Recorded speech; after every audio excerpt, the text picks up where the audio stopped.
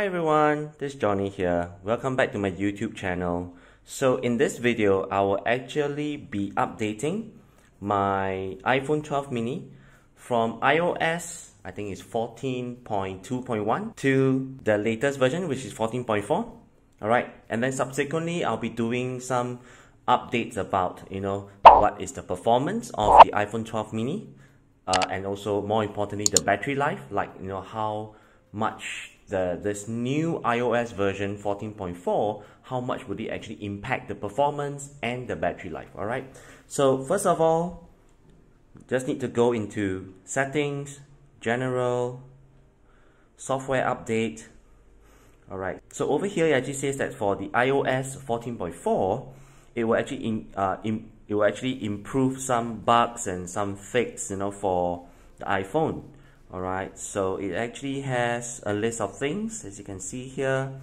It says that it can actually you know recognize smaller QR codes which is actually very important because especially over here in Singapore whereby we are you we, we actually need to do this thing which is called SafeEntry whereby you know every place we go every shop we enter every cafe we enter we need to scan a QR code to actually record our presence you know otherwise we would not be able to actually enter the place right? And and so this actually this improvement actually uh, is very welcomed right? Can be recognized by the camera you know options to the second thing is option to classify bluetooth device type in setting for correct identification of headphone uh, for audio notification which is very good all right this improvement is also welcome and then there's also notifications for when the camera on your iPhone is unable to be verified as a new.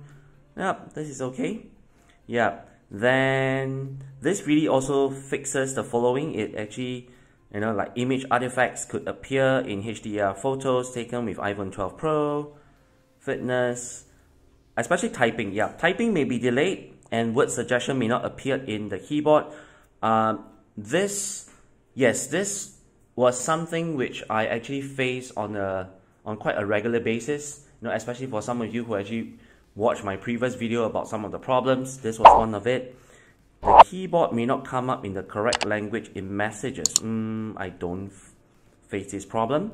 Maybe for some people in other countries. Right, enabling switch control in accessibility may prevent phone calls from being answered from the lock screen. Okay, that's good. Okay, so here are some of the updates, so let's proceed. So we'll just download and install. Alright, so according to here, it says it will take about 2 minutes. And now you can see here, it says it's about, yeah, from 2 minutes it become 3 minutes. 5 minutes, yep.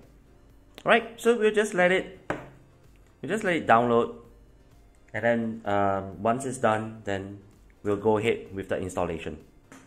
A few moments later.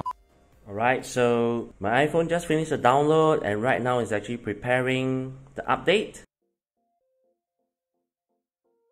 Alright so it just completed the download. So you can see from here it says downloaded. And the next of course is to install now. So I'll just click on the button install now so it's verifying the update. As you can see from here.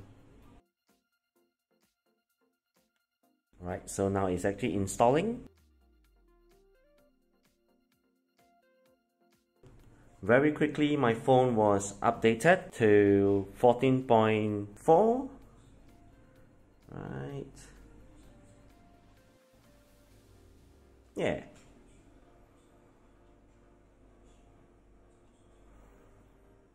about software version so you can see from here mine is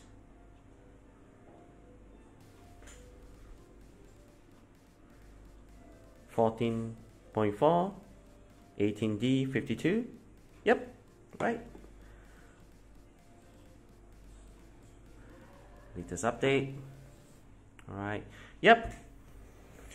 So the update was pretty quick from iOS 14.2.1 to 14.4. So I'll be monitoring the battery life uh, and also the performance uh, just to see, you know, whether is there any improvement.